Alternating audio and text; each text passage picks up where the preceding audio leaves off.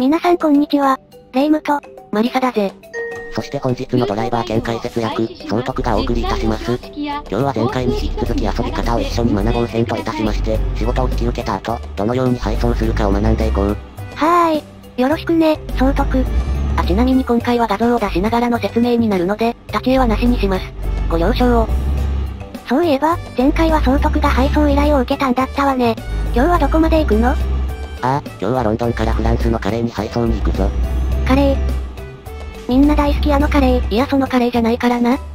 ま、その間に配送の仕方を一緒に学んでいこうじゃないか。レイムもマリサも一回ずつ配送したことあるから、すでに知っているとは思うんだが、一番最初に選択できるのがこのクイックジョブ。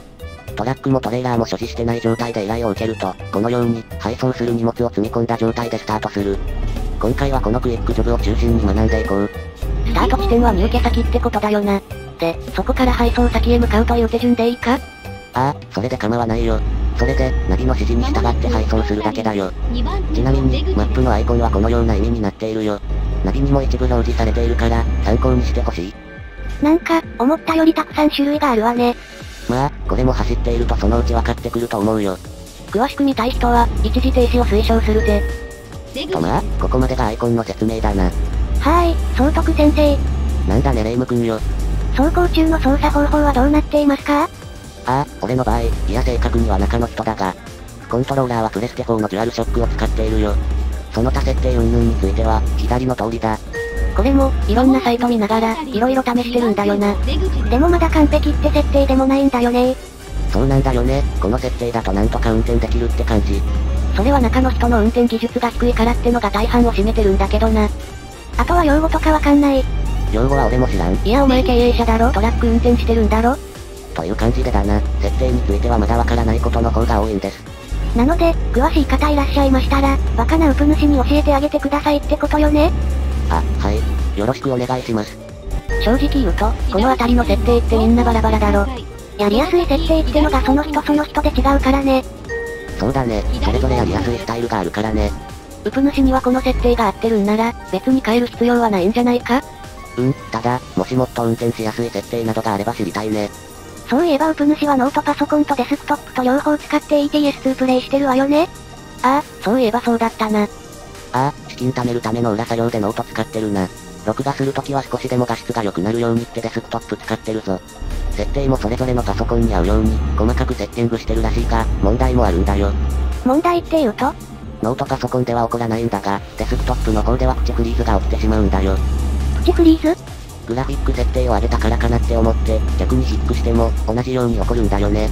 ググってみると、セーブ前になったり、FPS がガクッと落ちた時になる現象って書かれてあったけど、新しくパソコンを新調しようかどうしようか悩むところだね。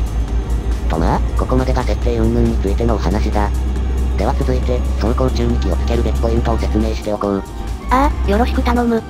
あ、と、その前に、受けた依頼をキャンセルすることもできるって知ってるか？え、キャンセルなんてしていいの？ペナルティもそれなりにあるけどね。まず、F6 を押すと、現在の仕事内容について詳しく表示されるんだが、下に現在の仕事をキャンセルってあるだろ？ここでエンターを押すとだな。このような確認画面が出るので、はいを押したらキャンセルできるぞ。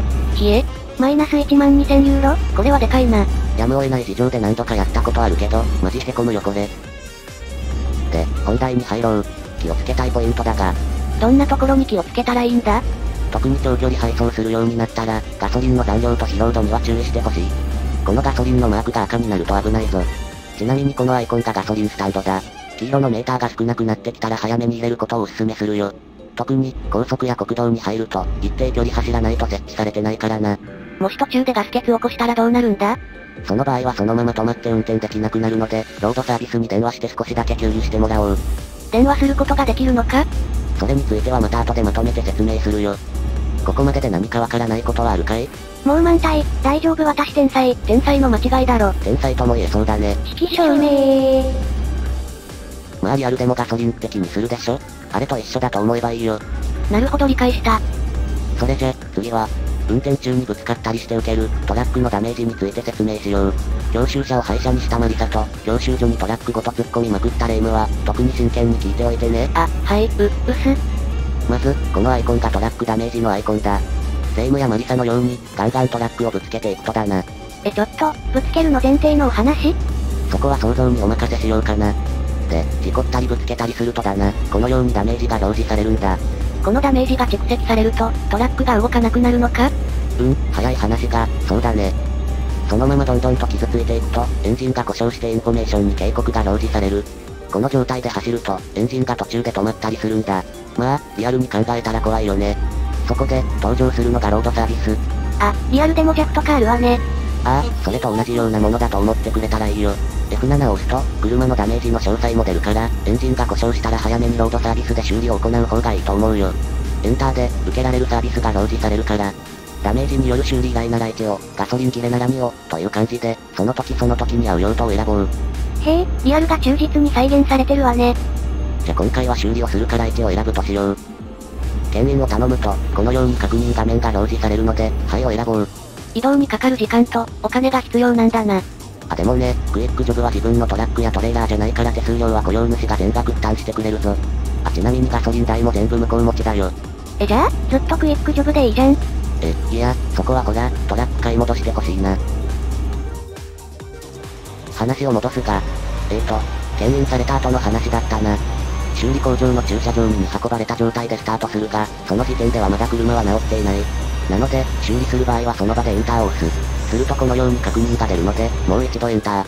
脱輪したとかでダメージがなく、牽引されただけなら、そのまま何もせず運転してくれて構わないよ。ふむふむ。あとは自分のトラックに応じて修理すれば OK。これって、自分のトラックが壊れた場合の出費って、かなり痛くない？それは、君たちが安全運転無事故無違反で、危険運転撲滅宣言してくれたらいいからさ。いや絶対無理っしょ。まあ大丈夫だよ。企業は給料から天引きということでさ。給料マイナスになるの確実じゃん。ま、事故に関してはそんな感じかな。牽引すると大幅に時間がかかる時もあるから、なるべくなら使いたくないよね。なるほどな。つまり私たちが安全運転。ってことなんだよな、やっぱり。うーん、まあ、そうね。リアルだと思って頑張るしかないわね。それで最後は、リアルでも危ない居眠り運転についてだ。お、まさかそんな要素まであるのか？お、まさかそういう要素まであるんですね。いちいち真似するなよ。居眠り運転は、長時間休憩を取らない時に発生する要素だ。この、ベッドのアイコンだな。これはウィキから引用しているが、11時間ごとに休憩を取らないと危ないようだな。実際も、運転というのはかなり疲労するもんな。疲れてきたら、このような警告が出るので、ナビに表示されているベッドアイコンのところで休憩しよう。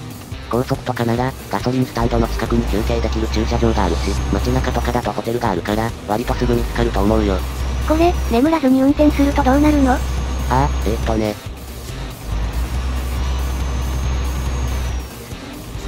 こんな感じで、画面がしばらく暗くなるよ。目を閉じてる状態を再現してるんだと思う。その間にぶつける自信あるわよ。確かにな。そうなる前に休憩することをお勧めするよ。こんな感じで、長距離の運転は色々気にするところもあるけど、基本的には楽しいゲームだね。そうね、割とリアルな感じでドライブ感覚が味わえるわ。ちらっと聞いた話では、もうかなり録画が進んでいるんだろ？ああ、あと3話分くらいまでのストックがあるよ。しかもその後グラボを変えたので、4話先くらいから、少し画質が綺麗になってるはずだ。それまでは汚いカクカクの録画映像ですが、もうしばらく我慢していただければ。というわけで、今回はクイックジョブの配送について少しお話ししてみました。少しでもこのゲームの楽しさが伝わればいいなと思っています。次回は、配送本編になるので、またご視聴いただけると嬉しいんだぜ。このシリーズは本当にのんびりペースで投稿するので申し訳ないけど、良ければまたご視聴くださいねそれでは、また次回、お会いしましょう。赤襟はマリサとレイムが交代で運転よろしくね。えなんでだよ急に。安全運転ができてるかどうかのテストだよ、テスト。君たちまだ実習生だからね。テストに合格したら昇級してあげよう。よっしゃ頑張るわよ。